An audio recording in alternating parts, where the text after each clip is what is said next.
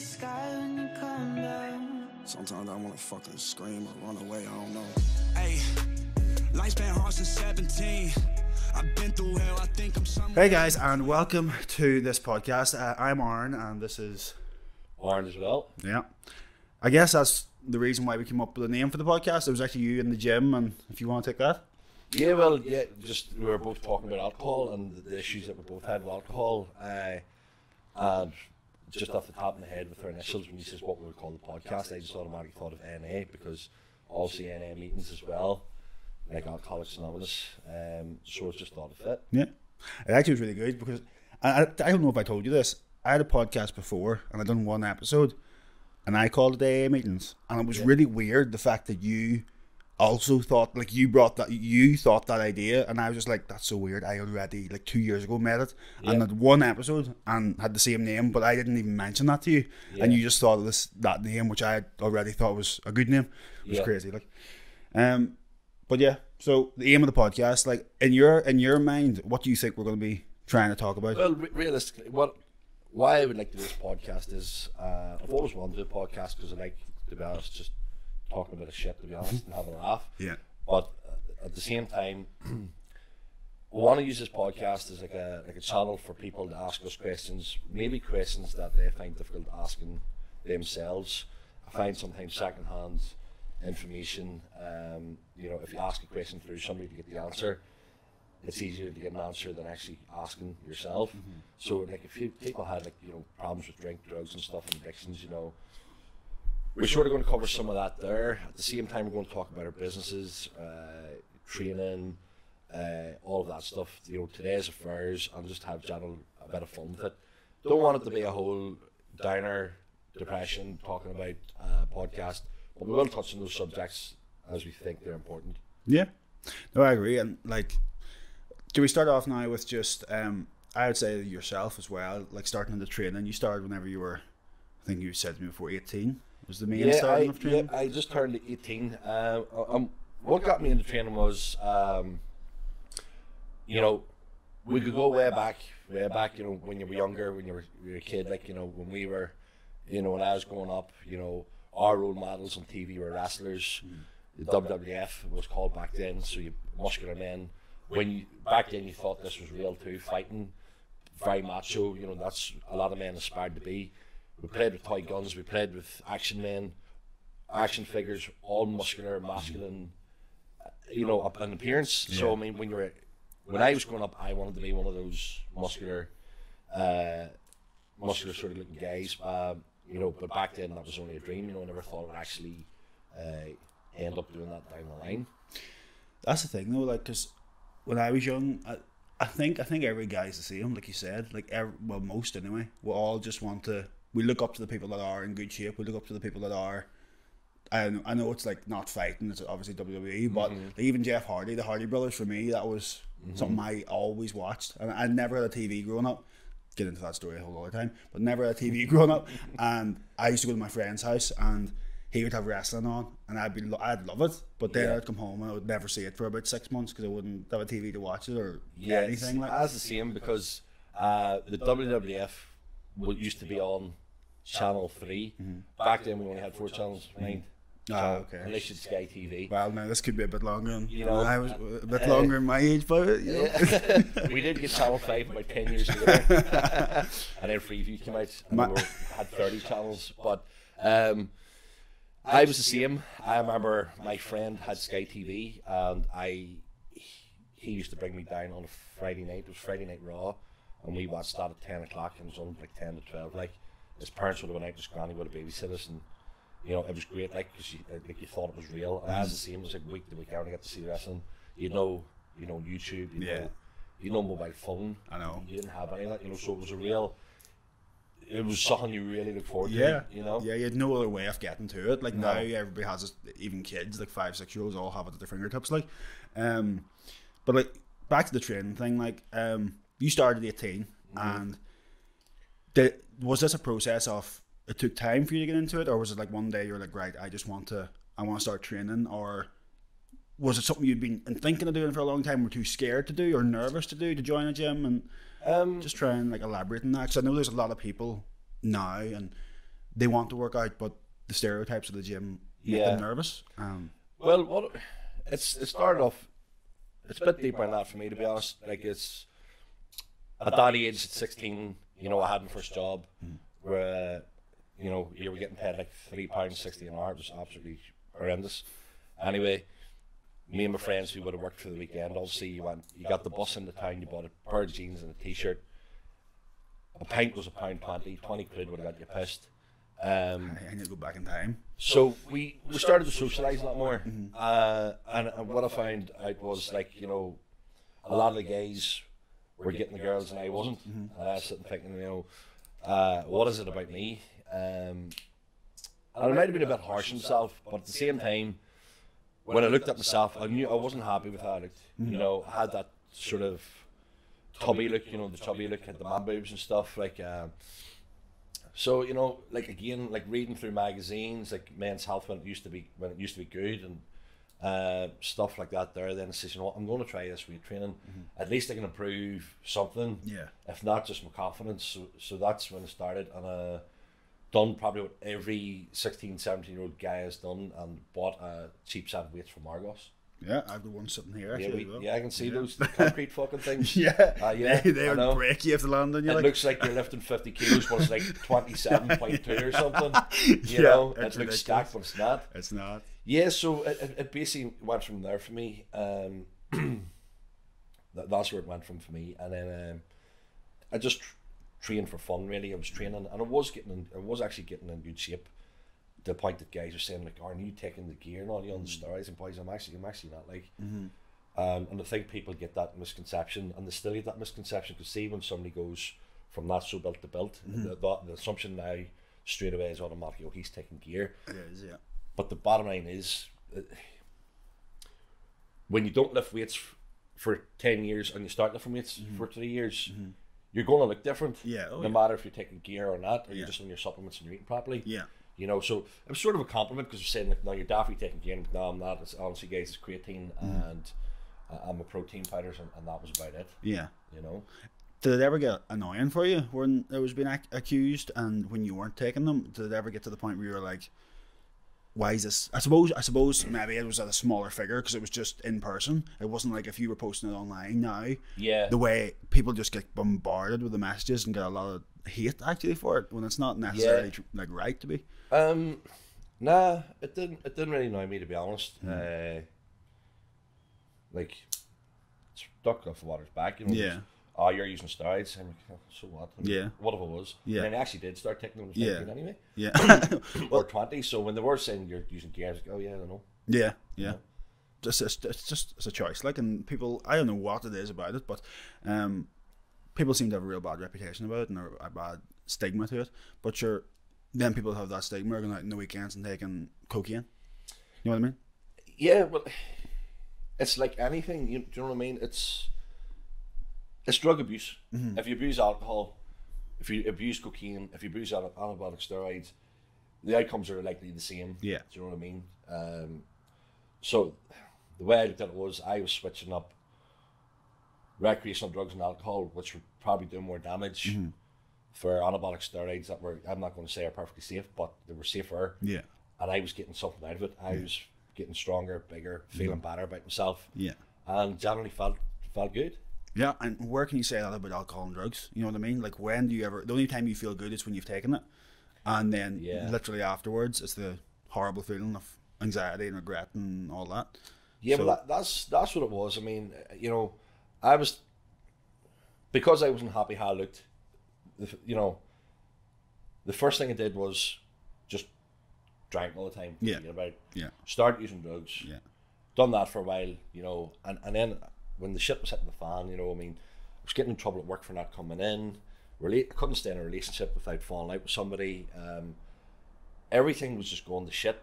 Um, and then I switched to weight training. You know, um, weight training was actually, you know, the last option, but it's the one that worked. yeah.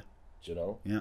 No, I, I, I can see it. I can see that because even with myself, like I've since COVID, I've really struggled with alcohol, and it's to the point where now it's like I'm, I'm a functional alcoholic as the term would be. Yeah. I can do my job. I can be fine. I will never go into work. I haven't been in work drunk or, or too badly hungover. I have been hungover before, but I think most people have to be honest with you because everything's so it's so normal now to be drinking. It's it's actually scary, and it's to the point where for myself I feel like I had no other avenue to go, and then I came into you a month ago and I was like, I, was like, I need to put money into the gym. I need to spend something so I know I'll stick to it.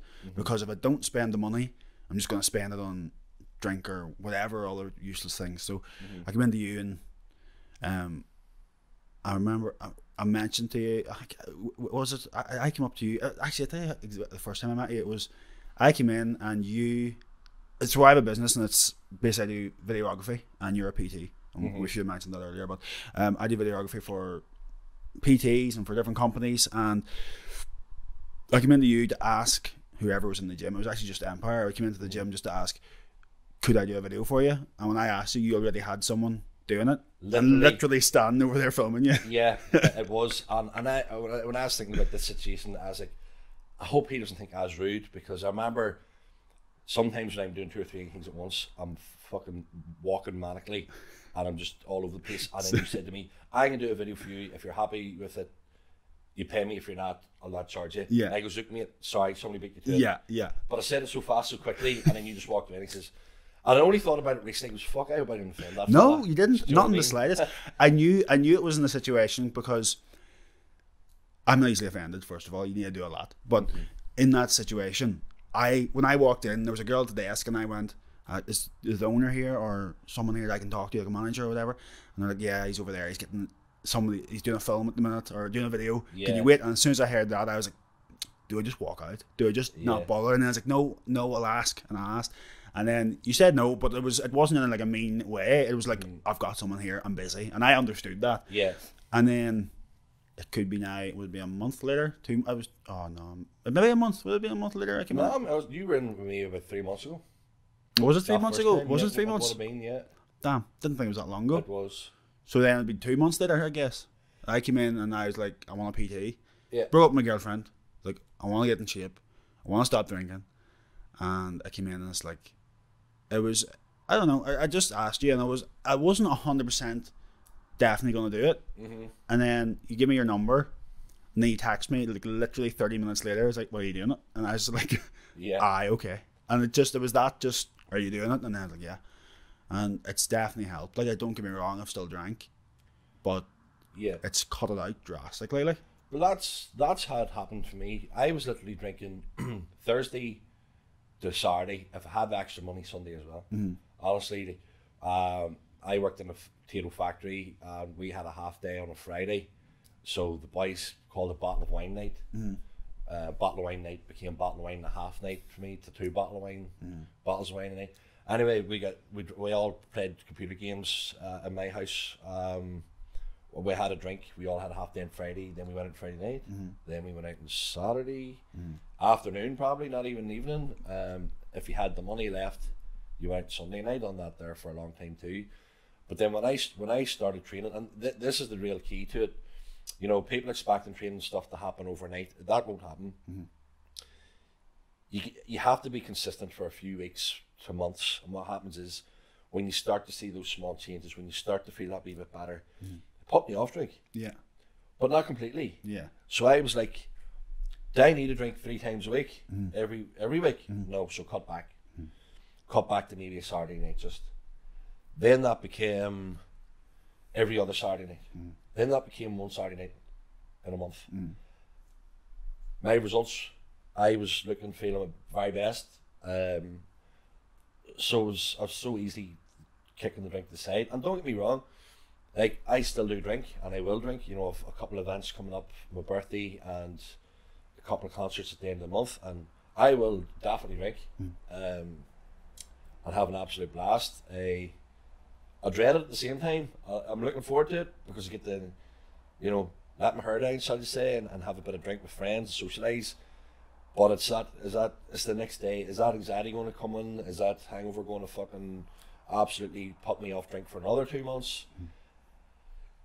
So that's that's nearly a thing I need. I need to drink so much that it puts me off. You know what I mean? Because I Yeah. I haven't the habit of getting so so drunk anymore. I used to be like that. I used to drink to get drunk. All I wanted to do was get drunk. I remember I didn't start drinking until I was eighteen. I went to Liverpool, and I drank to like I was in uni there, and I drank just to get drunk. I'd never Yeah. been introduced to alcohol, so it was like bottle of vodka, drank it, no problem, passing out, blacking out, didn't remember anything, and done that for months and months and months and maybe years, and it's. Yeah. I think it, it really gives you like this kind of horrible feeling when you wake up and don't remember stuff like Yeah. um and that's why even now when I do drink a significant uh, quite a lot Yeah. um I always know when I'm like right I need to stop there because if I do any more I'll wake up in the morning and I'll not remember Yeah. and I hate that feeling there's nothing worse Yeah, man. I, I've seen me waking up and looking somebody else's ceiling yeah and automatically going, ah, fuck, this isn't my house. Like, and then you're afraid to look left and afraid to look right to see who's ever beside you. And then, and then, um, like, I woke up in people, I woke up in a fucking van one day full of, I was swimming in Coke bottles. This, whoever worked, used this work van, he's one of these, in ah, God, he was one of these guys that had Coke bottles, you know, that he, he just refilled with water all the time. And I could feel all this stuff going on. in my feet. What the fuck's going on here? And I'm sitting in the passenger side of somebody's van in Portadown. let me la. Like, I mean, I, and I, I'm like, oh my god, where the fuck am I? uh, and I, I think I had lost my shoes too. I had no shoes because I had this habit of when I was drinking. I don't know why. If I was drunk in the taxi and I was in the back, I would slip my shoes under the, the seat. yeah Because I used to wear like those slip on shoes that were popular back then. Aye. But I forgot to slip them back on. you slipped them off didn't slip them on so I was getting out of this van uh, in my socks and it was wet. And I remember I was phoning and sort of knew where I was. I'd done a few, I actually had to do a few laps of the block to see, actually remember where I was. And, and then I phoned uh, one of my friends. I says, Can I come around? I says, uh, My head's absolutely fucked here. Uh, I just woke up in a van and what's going on? Where's my shoes? and I was like, my shoes in your house? Was I there last night? She's like, No, you're a stupid cunt. I was, Aye, I know, I know. Um, but I do this thing now, and friends laugh at me. I call it a risk assessment, and they're like, "What's a risk assessment?" Aaron?" And for example, I'm I'm going to uh, emerge at the end of the month. Mm-hmm. It's two days, mm-hmm. and I know I'm not fit for two days like mm-hmm. I used to be. yeah And the, the the drama is, the two they're both good days, but the Sunday's a better day. There's better there's better DJs not on that day.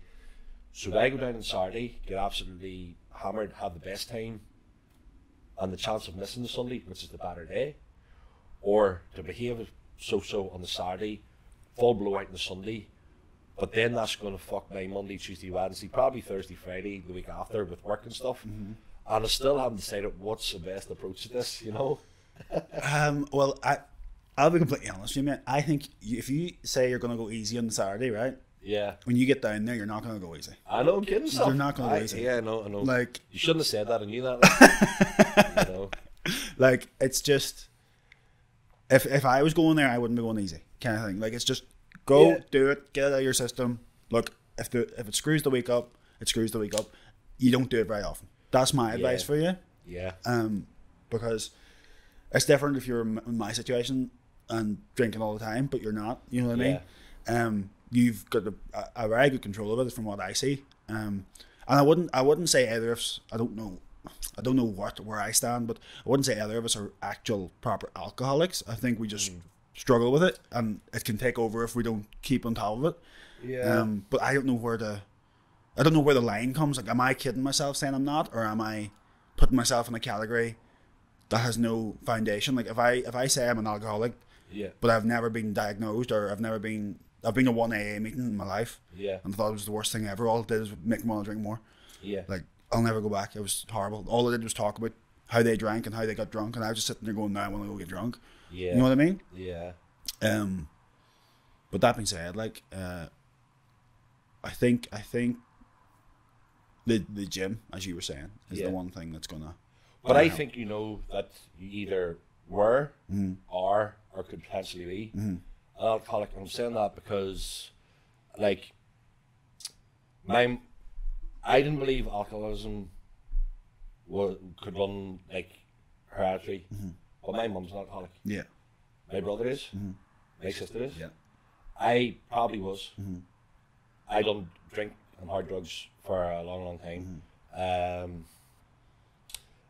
I have another sister who she would even say herself, like you know, if she was going to drink, she would go for an absolute skinful too. There's, we we probably drink to get drunk, not to socialise. Yeah. Um, so I knew I had those tendencies to be an alcoholic. So I, I, I would say I was fully, fully, fully Yeah. I was. Um, but I think, lucky enough for me, there's a chain of events that caused me so much emo- emotional stress.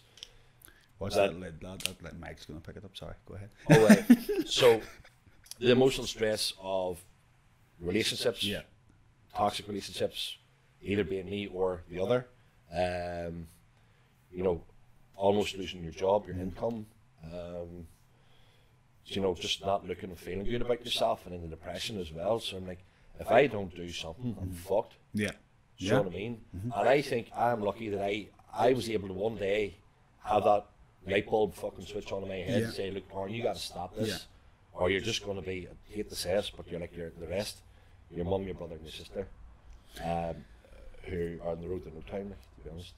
It's it's so impressive to me though, because you were dealt all the cards to put you in that box of being an alcoholic. Like you know what I mean? You were dealt all the cards to put you in that position. Yeah. Where I was dealt all the cards to keep me out of it. If that Yeah. makes sense. Like Mm-hmm.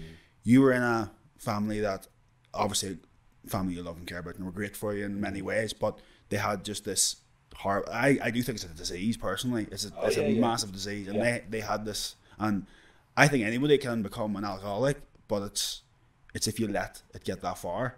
Um, but for me, like my parents never drank. There was never alcohol in the house. They still don't drink. My brother doesn't drink. Brother doesn't smoke. They don't drink. They don't. Mm-hmm. smoke. They don't go out to parties. None of that. It's just that's not their side of things. Are Yeah. very um, but, uh, uh, for lack of a better word, they're religious, and Yeah. That's just the way like they the way they live their life to me is is so incredible because I I couldn't I can't the way they live their life. But I don't know um how how I got myself into that situation the situation I'm in is my I think it was my dad's granda was a really really bad alcoholic. Um and it's it's terrifying because I hear stories about him and I'm like could I fall down that category? And then Yeah. you nearly use it as a as an excuse. It's like, well, it's hereditary. You know what I mean? Yeah. But um, there has been a lot of times I've quit, but it didn't last. You know what I mean? Yeah.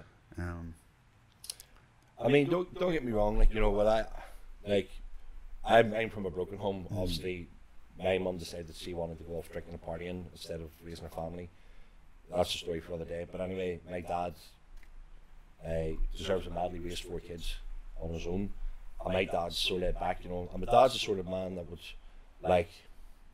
He was a wee bit harsher on his sisters about drinking, obviously, because going out drinking, you have the, the environment of older men and stuff. He was more worried about that. He knew that we were boys growing up into be men, and he sort of, you know, he he let us learn by our own mistakes. You know, he, he did, you know, try to stop us drinking. You know, we used to sneak out and drink, and I think he just accepted this is what they're going to do. Let them learn the hard way. Um, and then he was more relaxed about it, you know. Um, but I did learn the hard way, and my brother didn't. yeah, that's the And thing. the other sister didn't, unfortunately, you know. And it took those hard falls to realise, you know, uh, there's so much more uh, to life than getting absolutely pissed. And then the drugs too. Like, I've done a lot of heavy drugs too. Like, uh, I'm not going to say it wasn't fun because it was. Uh, but at the same time, you know, if I had a full grip of me as well, uh, you know, my life probably wouldn't be as stable and as good as it is today. When was the turning point for you? Like, uh, don't mind me asking, how old was it? Were you older than me or younger? I'm 26, I'm 27 November. Was it around that age where you were like, right, this is when I need to change, or was it later than that? Like, Say later, so I feel a bit better about myself. I'm trying to work it out here, but like, just be honest. Uh, just for context, he's 64. Just Ah, come on now. Um, so I started, I started drinking. I was lucky enough. Me and my cousin Gareth, who we used to hang about together and do a lot of drinking and carrying on, were bad influences on each other. Um, what happened was like uh, we we were this we were the guys in high school that had beards. Mm-hmm. We we were the guys about twenty when you were meant to be fifteen. Yeah. We were we were going to bars after work. We used to take off our blazers, hide them in a hedge, walk in the bar with the shirt and all open, and we got served drink. Yeah. Um, but we start. We were going to coach at sixteen. Banbridge, one of the best nightclubs ever to be open. Unfortunately, now it's closed. But I was doing ecstasy at sixteen, and drink. That's you know, mad, yeah. You I, know. you really started young, like. I did start young, and maybe maybe that's maybe that's why I, I did. I would say I partied hard with drugs and drink. Uh, right up till I was about eighteen and started weight training. I was still doing it. I was weight training and stuff. I would say 22, 23, I started the turnaround because by then I let myself go completely. I got really overweight. I was really unhappy. I had depression problems, and that's when it was like I was like I was I was twenty three because it took me two years to do my whole turnaround of my life, and it was only when I was twenty five I become a PT. I got back into work. I had two jobs instead of none. Um, I had a lot of responsibilities, and from that point, I'd say twenty five, uh, things started to iron out. So did. That's that's impressive, like to be to be honest with you, because to start at 15, 16 and really like your brain hasn't fully developed. Like you're what 23, 24, genuinely, and then yeah, at that and- age for yeah, and it probably wasn't going to develop with a Drugs drugs and drugs I was alcohol. taking Yeah. either, to be honest. no, I went down the same path, but I, 18 when I started drinking, and I remember the first time I smoked weed, I thought I was going to die. Um, I just didn't know have any knowledge of it whatsoever. I was 18, um, and then I got really into smoking when I was about 20, I want to say, um, and then it went on to harder drugs. And I definitely changed. It's definitely changed my mindset. It's definitely changed the way I think. Yeah. If that makes sense, like it rewires your brain in a certain way, which is Yeah. kind of crazy. I actually didn't expect to talk about this in the podcast so quickly, but here, um, we're here now. um, but yeah, it was it was a it was a crazy time because being brought up in such a good family and such a family like they were just against all of it. I think that's what made me do it was not that not to be cause any disrespect to them or any of that, but I mean because I was so like protected till I was eighteen yeah, and I was like, I need to go do something. And then I just went at everything when I got that freedom when I got to the university. yeah, And I'm glad I done it because, like you said, it's fun at the time. Yeah. It is fun yeah, and it is enjoyable. But that ruins you. Like it, it absolutely destroys you. You become- a shell of yourself. I think if uh, whenever you're doing it constantly and a lot, um, you, it really Yeah. really takes takes Right. you. I would have smoked weed and stuff a couple of times, like you know, because like when I was at home with my brother, he would have smoked weed, and all, and weed just wasn't ready for me, to be honest. It just because I never smoked, Mm-hmm. the whole tobacco and the, the, it just it was disgu- it's disgusting for Yeah. me. So it wasn't. But like I was doing ecstasy, I was doing like uh, speed, uh, cocaine. You know, I was doing all the harder stuff. to be- Uh, but I want like I mean, this is funny. You know, like quite recently, well, not quite recently, but recent enough, like, you know, uh, we would have went out and I would have had maybe some cocaine.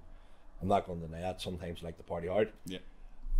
And the discussion always comes up about when we were younger, about the drugs and all we chose and done. My friends who've done weed are all socially backward now. Yeah. And they're still doing it. They're Yeah. socially backward. Um, they're a complete shell themselves. They're anxious. They're paranoid. Um, a couple of them actually came to me for training. They lasted a couple of weeks and went. Uh, and I says, you just you're always saying to me about, oh, you've done this and you've done that. He goes, but look, you're still smoking that shit in the stadium. Yeah. To, to be quite frank with you. Yeah. I mean, your head's up your hole all the time. And when I say to you it's that fucking weed, you're denying it. Do you know, when it's clearly not. I've said this. I think we've had this conversation before. I said to you, I think the worst drug in the world is weed.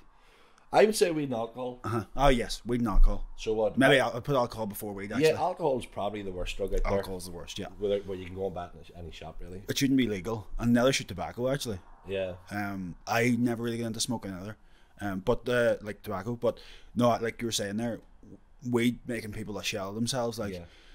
there's a guy I knew, I know, and we went to school together, and he's got, I'm not gonna say his name, uh, but he's got kids with different different women and stuff, and he's smoking every single day, and it's the toll that it's had on him. I can just see this kid was when he was real young. He was so so funny, like Yeah. hilariously funny, and he. Yeah. I was always like, this boy should be a stand-up comedian. He should be something. Like he's got something. Like everybody found him funny, and then, and it wasn't like the kind of humor where he'd bully someone to get a laugh. It was like genuine. Just he was funny, but it's it's destroyed him. Like I, I can see it, and um, he's depressed and down and in a real bad way all the time. And it's it is weed. I think weed is just so bad. And Yeah, and then the thing is too, you know, when you, you challenge anybody who smokes a lot of weed, they're just in complete denial. I says, mm. you're depressed. I can tell, I- know what depression's like. You're mm. depressed. I'm not. Mm-hmm. And I says, you're smoking that there stuff there every single day, every 20, 15, 20 minutes. Does even, are you even getting a hit from it anymore? Or is it just that pure, you're purely, what it, what would say, reliant on that? Yeah, yeah. Or do you, like, I mean, if I'm going to do drugs, I want to get a high.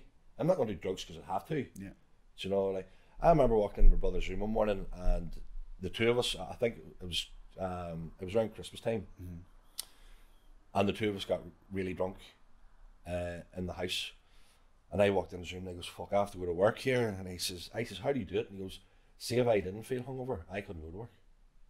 And I goes, "That's fucking mental, that's mad. Like, isn't it?" Uh, it's such it's such a normal feeling for him. It's yep, that is his normal. Yeah. Uh huh. I if he was sober, he'd be like, I need to do something to make myself feel hungover, like something else, and then I can go. That's crazy. It's we- it's weird how the mind works too. Like it gets comfortable in like the most uncomfortable situations that you put yourself in, but if you do it enough, it'll just get Yeah. used to it. But this is like anything, and this is why I encourage training. If you just give training and yourself some self care for, for a while, that becomes addictive too. Yeah, And your life becomes so much better. Your mental health, your drive, your focus. Like, I mean, uh, yeah, I know I can peak now right now, and, and there's parts, times of the year that I'm absolutely shredded. People going, that's, you know, well done.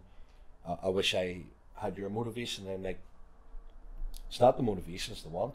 yeah, I wanted this. and you would have had to do to get it, and I've done it. People are waiting about for somebody to come up their face and motivate them mm. right there. You know, see watching these videos of people doing shit on Instagram and the likes of The Rock eating 15 pancakes. That's not going to motivate fucking anybody. You need a reason to change. Mm-hmm. And my, my reason to change was I actually hated myself. How I looked, how I felt. And when I figured out the gym was going to be that medicine, mm-hmm. I was on it 110%. Mm-hmm. And it's kept me right ever since. And from then, not only do I look and feel better, I'm running a business. I have a business, which I never ever thought I'd say. But that discipline that I now have, I would confidently tackle any situation right now.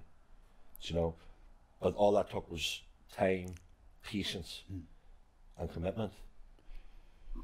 it is. It is something that, like I, I find if you, if you didn't turn your life around for a business or for a family or whatever, it's you get yourself in a situation like if I keep going the way I'm going, the business will go nowhere. You know what I mean? Yeah. It's like the obviously the past month there's been a drastic change. There genuinely has, but mm-hmm. till then, if I had kept going that way, that I couldn't have done my business because I was going to work and I was doing my, my day job Yeah. and I was doing it to the best of my ability. I was doing it well, and then I was coming home, and I was opening a couple of bottles of wine, or I was mm-hmm. opening. I would buy thing a twelve pack of Guinness or a ten pack of Guinness and drink it. Buckfast wine? Nah, can't stand that stuff. Knocks me not out, wine. lad. No, can't stand it. It it's just see the next day because it's caffeine and because it's alcohol. It's got me looped up. Like I can't deal with it. Puts me. It's, I don't know. It, it makes you feel. I think you need. It's the kind of like I know you drank it, uh, but it's the kind of stuff you have to get used to nearly, or you need to start when you're young, which is such a bad thing to say. But, but you know what I mean, though. It's like an acquired taste. Like I do drink it, but only Yeah. if I'm if it's a last No. resort. Like But Buckfast, like I remember watching that TV series, was documentary about Buckfast and how it was probably the biggest reason behind the crime rate in Glasgow hmm. and in Scotland. And I do believe it because I actually done an experiment that here again with my risk assessments. So when I was trying to wean, wean myself off drink, I was blaming the drugs. Hmm. I was blaming the horrific come downs, the anxiety, the depression from the drugs that I was taking on the weekend.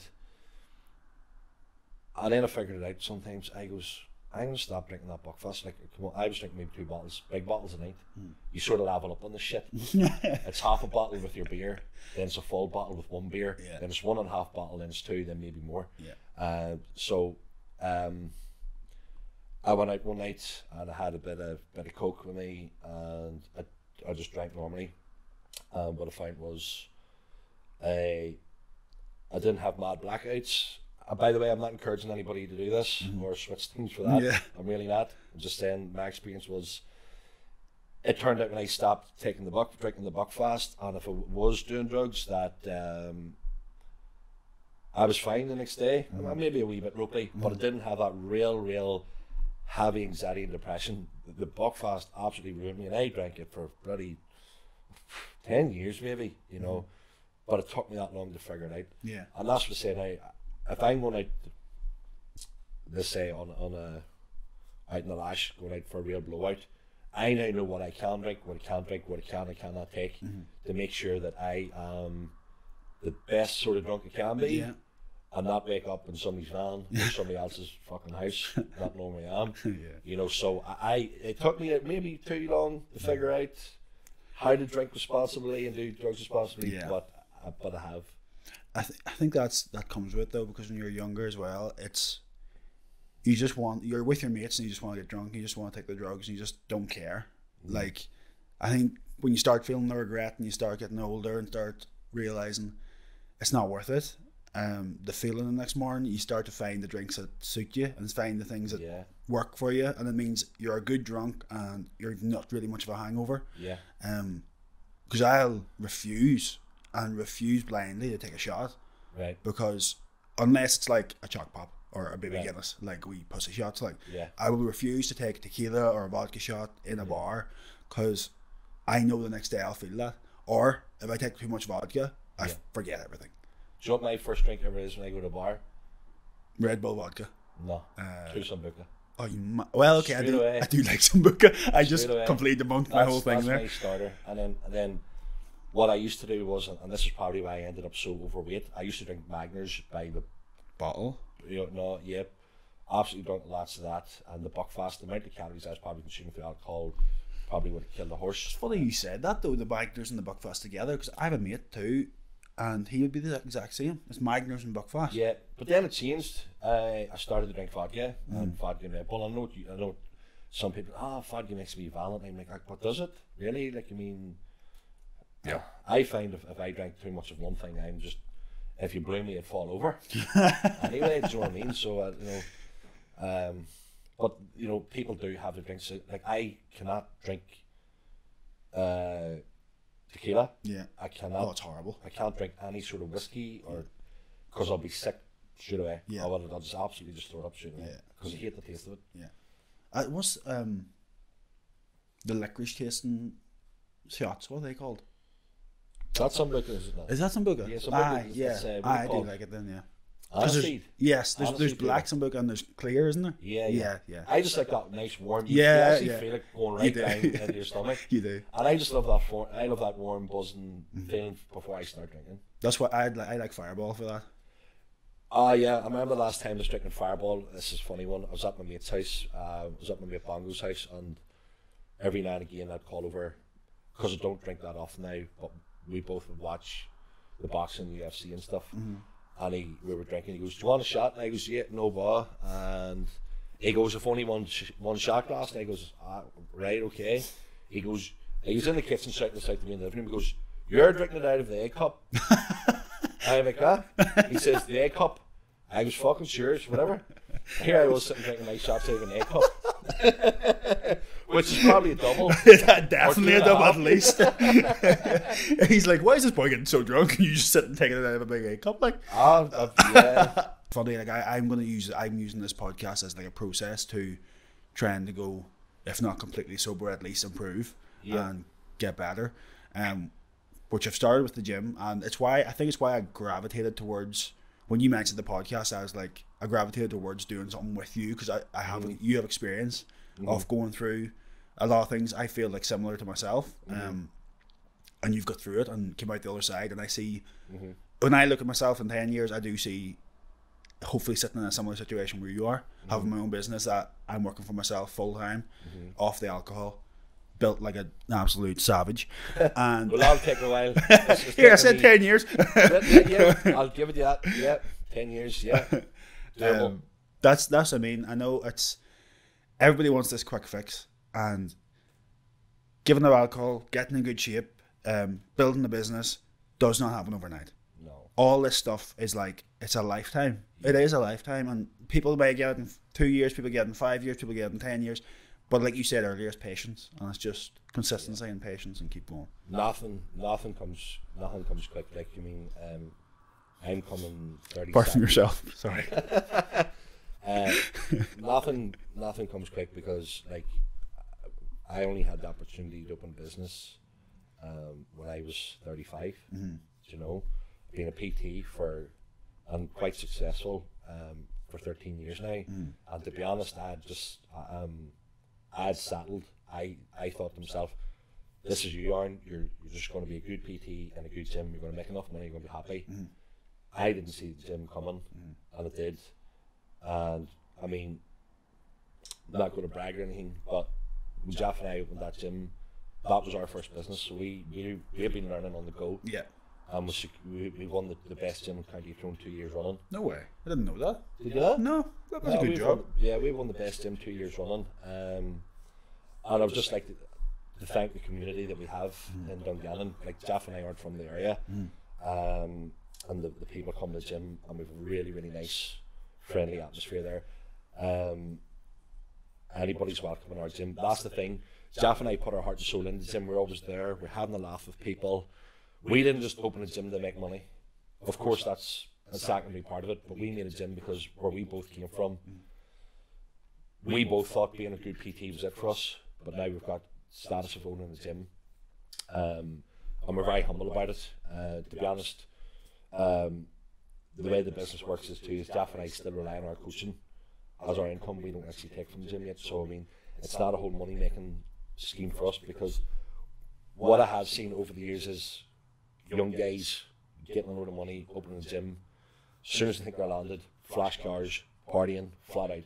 The doors are closed in six months, and it doesn't work. Yeah. You gotta, you can't be selfish. Yeah. That gym up there is for the customers. Yeah. I still look down that gym floor and don't even think it's mine. It still hasn't sunk in. Um, and I don't know if it ever will. You know? That's a very good way to look at it. I have to say. Yeah, but you know what? Because I'm very grateful the opportunity came around, and I never thought, it, like I said, I never thought it would be. Um, and I don't want to about telling people that own gyms or nothing. I just tell people with PT. Yeah. Uh, you know, and, and that's it. Yeah. know. Well, it is, without a shadow of a doubt, the best gym I've been to in this country, like it, uh, easily because you, it's yeah. the size of it as well, and it's like you said, the community. Like I walk in there, and I've only been going. well, I, I started my like monthly in January, Yeah. um, and I went for three weeks, and then I kept paying it and never went for months Yeah. and then came into you. And since I started PT with you, everybody in there that's PTs and anybody um, that works there has been so nice and Yeah. asked for my name and called me. And, you know, like they, they make you feel like you're part of Yeah. the community in there. And Yeah. it's something I think you should be very, very proud of because there's not very many gyms I'll go into and be like, "It's a great gym." Usually, it's like, "Wow, it's very like." Yeah. Everybody, nobody's talking to nobody. You know what I mean? It's very. We, we get off. that a lot. You know, people people have told us before. Look, we've we've drove past the gym and we didn't think it was as big, and they came in, and like this place is amazing. Mm-hmm. Uh, to sign up, which is mm-hmm. good. Uh, we have people from America come over to visit family. They straight up, they join up for a week, two weeks, so long they're here. We fell from America says I've never seen a gym like this, and from coming, I thought America being so westernized and so, you know, I thought they would have bigger, better gyms than ours. Yeah. He says, no, this this is different. Um, you know, we open all year round. Um, there's other gyms take holidays, close the doors for silly bank holidays and stuff when people want to train. Yeah. We realise that people, you know, people even would give us stick for on Christmas Day, but the way Christmas Day is, if I'm training, I'll have those doors open. Yeah. If people want to come up and train while the doors open, they're more than welcome. Um, you got to remember, not everybody's sitting at home with a few children opening presents. Mm-hmm. a There's family, people sitting yeah. Mm-hmm. at home on their own, no Christmas dinner. All they might want to do that day is train. Yeah. And if we have the doors open and we can help somebody just feel a wee bit at ease on a day like that, they're welcome. I got goosebumps there. Genuinely, that that's I never put that together. Like Christmas Day, there's people. I know that's so self-centered of me, but I never thought maybe someone wants to train on Christmas Day and there's no gym open and they're sitting Yeah. by themselves with no family, 100%. feeling horrible. But if they can get to the gym and train, Yep. change them. If they can just come up and say hello to somebody or talk to somebody, we can make that person's day. We can make life easier for them. Um, and, that's what it's all about. You know, um, people say, "Oh, you're f- fucking greedy opening on Christmas Day." It doesn't cost us any more, any less to stay open on Christmas Day, to be honest. Uh, and like I said, if I'm there, the doors will be open to anybody. Um, because personally, I don't find Christmas. I believe in that. Well, my opinion of Christmas is there's too much of a build up now, and I actually enjoy the build up Yeah, but it's such an anticlimax on the day sometimes. And I probably because I don't have children. I know for people with kids and all, it's great to have your children Yeah, yeah. stuff. I don't have children, but there's always a lot of sadness around Christmas. Always, Mm-hmm. always. I hate to put a bit of down on it, but there always is. So people got to realize when we're opening the gym nearly every day of the week, it's not for us to fill our pockets. It's Mm-hmm. to help other people who have nowhere else to go. and to be fair, it would probably it would co- it would cost you less to, to close on Christmas Day because to be honest with you, you're getting a monthly subscription anyway. Yeah. you know what I mean. So you're not. It's not like oh, if I open this day, I get an extra hundred pound. It's not the way it works. You, like Yeah, no, you could close that It day, actually, and it it'll cost us less on Christmas Day because Jeff and I will stay mm-hmm. there and we'll, Yeah. have- we'll let the staff be off. oh okay. So yeah, it costs us that's less actually actually- opening Christmas yeah. Day. Yeah, Do you know, uh, for me, this last three or four years when I got into training was like, you know, I'm not one for sitting about in the house watching the same films I've fucking seen 500 times. Elf. you know, I've seen all of Yeah. them a 100 times. You know, what I like to do is go and train. Mm-hmm. For my dad's, dad wins dinner ready. He said probably about two o'clock. Mm-hmm. My post workout meal is nothing better than a big Christmas dinner. that sounds. on. I want a Christmas dinner now. You know, and then uh, and then depends what I've got there. I used to work a lot of door work, um, so I used to go out to work then. But um, yeah, you get that, you know. Um, and I maybe shouldn't say, but we've taken clients from other gyms across the country because they go to go to their gym on say Easter or Christmas and it's closed for a week. Where do they go? They come up and they sign up with us and they stay. That's it. Like Do you know? So I mean, uh, it's smart business wise too. It is hundred percent, and um, it's something like I I always wanted to pick your brain about stuff like that because for myself, I always say, my old my dad always says to me as well. He says, never pay staff. That's his advice to me with my mm-hmm. business. He's like, don't pay staff, just Yeah. work. And obviously, if you get to that point where you can't get any more work, can't do the work, just push it and leave it. Don't mm-hmm. get staff. Because when you think about, it, for me anyway, if I was going to have to pay staff, like there's a guy, he's called KJ, and he's good at filmmaking, he's good at editing, and I could hire him. But it's just gonna, with all the extra work, Yeah. it'll just cancel it out. Like there's no point in even doing it because I'm paying him. You know what I mean? Yeah, well, the thing, like, as I'm new to business, I've had this discussion with a couple of business people that I know, and they all told me the same. They're saying, "Aaron, the biggest expense you'll have staff." Yeah. And to be honest, the first year of running, we were getting our feet in, we are learning how to run the business, and a staff costs were quite a lot. Um, so then we did have to cut back hours, and Jeff and I ourselves do more hours. There's times a day that we do need staff, like uh, as Jeff and I are still coaching, we can't be at the desk, we can't Yeah. be cleaning the gym, and we can't Yeah. be coaching at the same time. Um, but our staff are very good. I Yeah. mean, we, they're as much as part of the gym as we are. Yeah. But, You know, they're part of it too. That we need those. We need our staff. Yeah. You know, we're very good staff. Like so, I don't mind paying people. I mean, If they're good at what they do and they're very good with people and they Yeah. encourage people, that's all you need. Like yeah. really. Well, well, that's it. Like you know, I mean, um, we're in a healthy situation, very healthy, Mm. um, with everything we're doing now and with the staff that we do pay. Uh, so I mean, couldn't be happier right now to be honest. But there's times a day we just need staff Mm. because you've. s- I don't know if you've been in gym in the evenings, but you absolutely out. You couldn't. You couldn't swing a cat. You couldn't swing a fucking hamster. Yeah. It's tiny. it- it's- the place is. It's just. It's just so full. Like It is. There's know- there's times I just avoid coming because it's that full. To be completely honest with you, Yeah. but it's not a bad thing. Like it's like the like I I was in oh, it was last week, and there was maybe six people there. And Yeah. I had my choice of the equipment, and I was like, I always that's why I like shift work because I always seem to fall on the right time to come in when it's quiet. Yeah. Um, That's so why I like to train. We train about two or three o'clock every day. Yeah, you know, because it starts to get busy about five, six, Mm-hmm. and then it's rammed from seven on, and I just, I can't even work in those situ- and like I mean, because one, most of my clients get anxious because it's so busy. yeah, I can't do the work I want to do with them because it's so busy. yeah, Then you've got young lads fucking about, racking, bracking things that I have to keep an eye on. Mm. Yeah. And shout at. every now and again. I would not like hitting the wrong you, but you know, uh, I know it's quite funny. If if you ever do something wrong, just you may hope Jeff shouts at you. Jeff's a wee bit lighter than I am when it comes to that. Like, um, No, but I like I've I've been in and I've seen like you were saying about people breaking equipment and things and not even reporting it to you, just breaking it and walking off and stuff. Like Yeah. that must be something that's so infuriating because you spend so much money and put Yeah. in equipment that is top top equipment. Like you've the Yeah. best equipment that you could get, mm-hmm. and people are coming in and just basically just trashing it and yeah. Well, he knew he he stayed in our gym by skin of his teeth because I spoke to him, mm-hmm. and I asked him about the machine that he broke. I know accidents can happen, but mm-hmm. when accidents happen, report it. Mm-hmm. yeah, because our issue with that is, yes, it's not good to have a gym machine broke on the mm-hmm. floor, mm-hmm. but that machine, somebody could have hurt themselves with Yeah. that machine after him Yeah. because he didn't report it. Yeah. Now that was our problem. That's why we were pissed off about it. yeah, yeah, And when I started asking questions, he was denying it, and I says, "Listen to me carefully. You're on camera. Okay. All I'm saying is, if anything like that happens again, report it. Accidents happen, but just report it." yeah.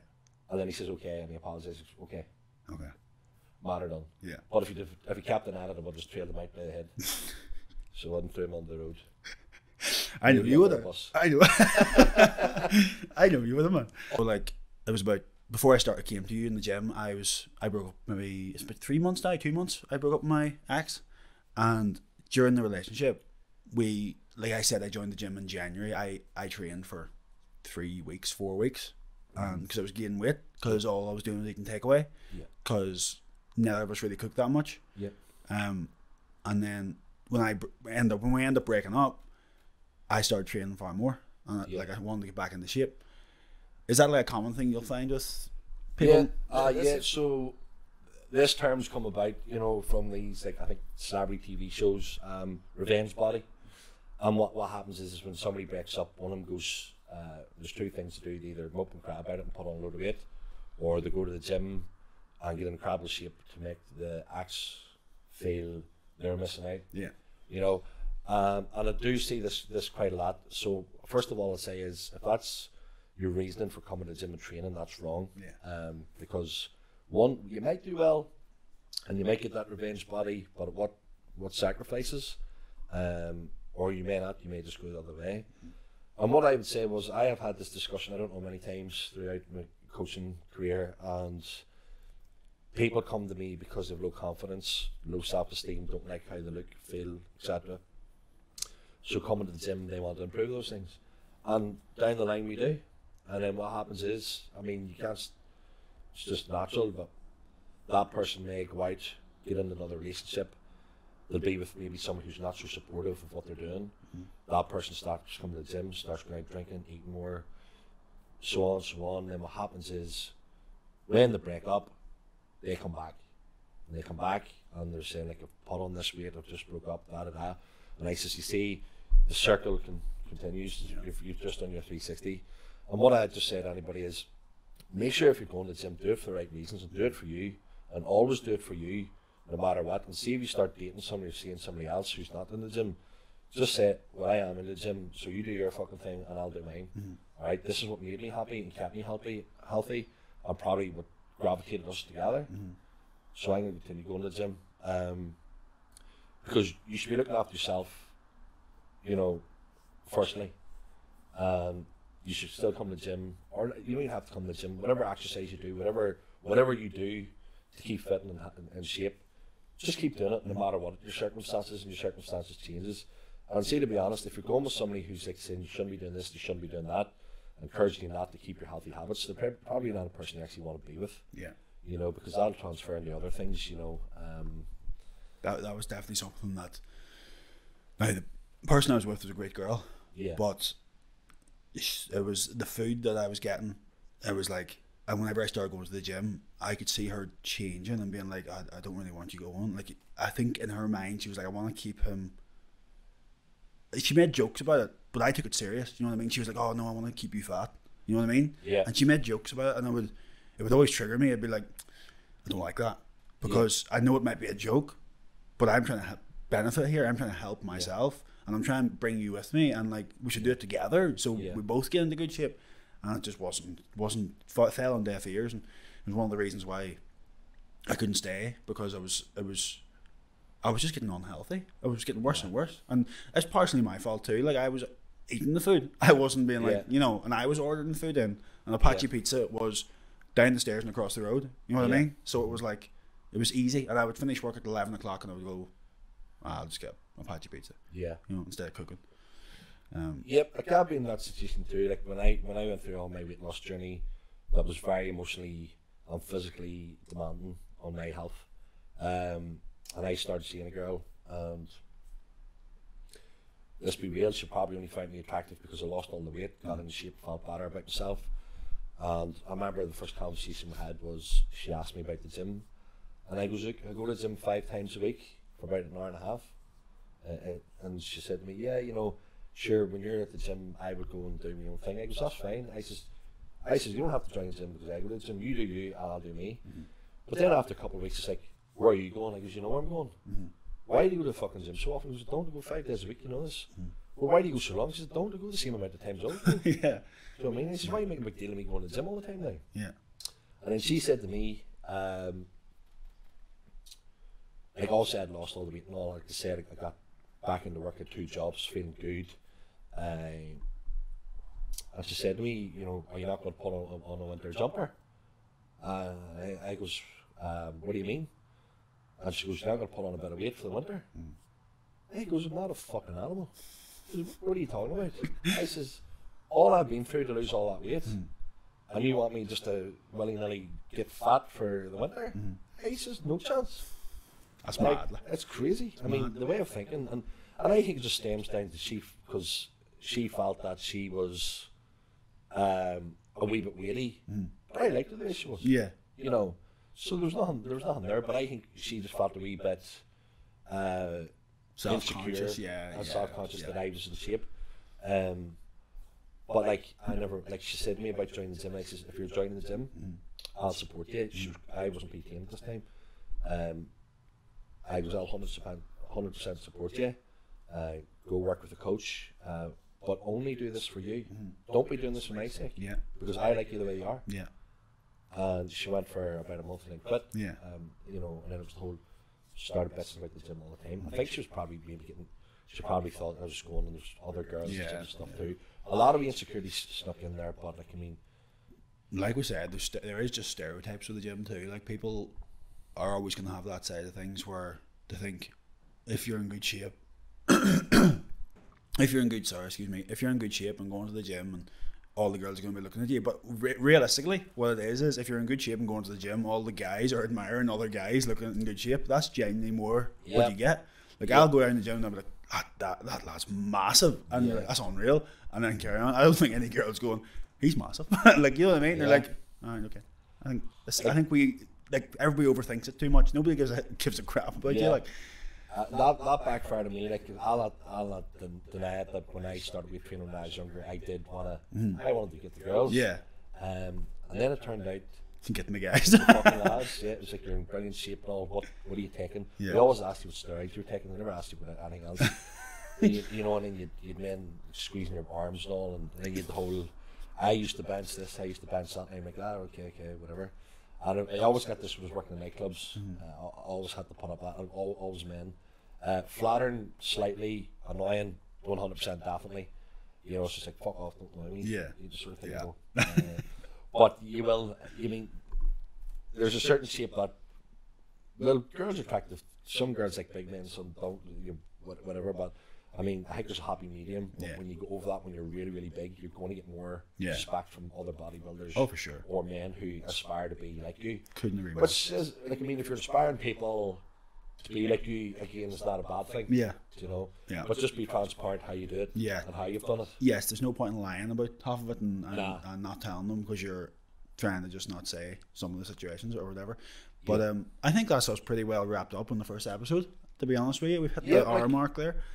Um, if you want to do a wee close off, you, Yeah, well, yeah, it's just just like we talked about at the start. You know, um, use us use us as a medium. I mean, if there's questions that you want to ask, that you're maybe afraid to speak to somebody else about, or things, you know, uh, I'm not going to sit here and say that I'm that I'm uh, an expert, but I have had a a few rough hands dealt to me in my life, and I've got through them. So, from experience, hopefully, I can help you, uh, or Aaron can uh, as well. And that's why we post up on our Instagrams about topics. So that's just really for anything you just want us to speak about. Yeah, exactly. So basically, if you have any problems, any issues that you don't want to say or talk to a friend about because you're embarrassed to talk about it, we can talk about it for you and you can get answers from that maybe. Um, I think I heard the camera die again there a couple of minutes ago, so it'll probably be a something on the screen saying technical difficulties or something. But uh, we got most of the recording there. It's the first episode, so give us a give us a chance. We'll get there, and we appreciate all the support that's been on the Instagram, all the messages already that have been sent, and all the questions that we will get into. We have had some people ask us. Uh, some questions to put into the podcast, but this is more an introduction podcast, Yeah. um, or an introduction episode. episode sorry. Um, so just thank you for getting this far and listening, and we really do appreciate it. And you're always open to send a message into the uh, Instagram or comment on the YouTube uh, video. It's going to be in Spotify, YouTube, SoundCloud, and maybe more if we get that far. But thank you very much. Thank and you. We'll see you in the second episode. Bye, guys.